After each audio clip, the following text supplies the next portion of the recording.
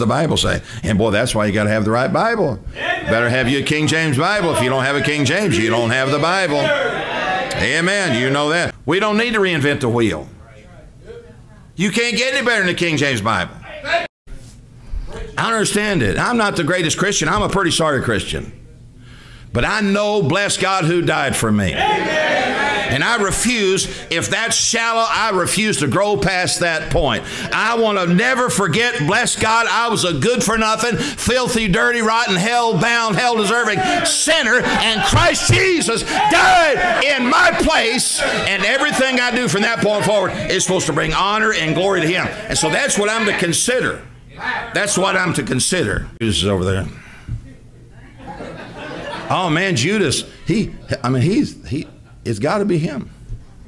Jesus in the corner going, oh my goodness. you, guys, you guys, boy, howdy. We know Judas is saved. Boy, we know he's saved. He, he handles the bag. Peter, bless God, bleep, bleep, bleep. I don't even ever heard of the guy. And they're like, I always knew Peter wasn't saved. Always knew that.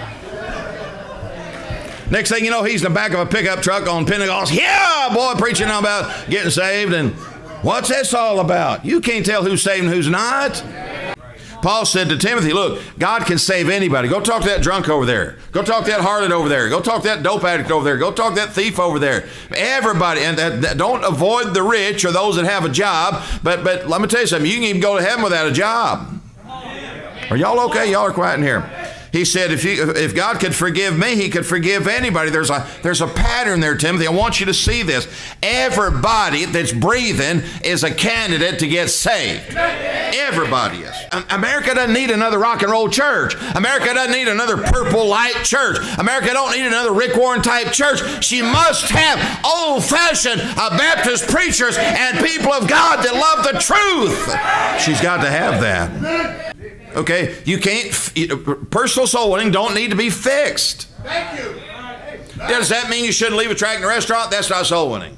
But does that mean you shouldn't leave a track in a restaurant? Sure, leave a track in a restaurant. But that don't mean soul winning's broken. Okay, we don't need to, to, to, to, to go tr- walk around with a big uh, grin on our face, trying to smile, trying to pay, make everybody convinced that we're happy. That I'm for that, but that don't take the place of personal soul winning. Find the church anymore that has music standards, that has dress standards. I mean, my soul, it's so rare anymore. If I read one more website that says we don't have a dress code for members or staff or anybody else that comes in our place, you are the biggest. You remember, remember when Donald Trump? This was funny to me. I thought this was hilarious. When, remember when he got in that, that fight with Ted Cruz? Ted Cruz said something. He, he just went, "You are the single biggest lie." Y- y'all remember that? Somebody ought to say that about some of these pastors. No dress code. Well, let them walk in there with nothing on, and all of a sudden you, whoa, hold up, you can't come in here. You said no dress code. This is a biblical uniform. I got as much on as Adam had on. It's ridiculous.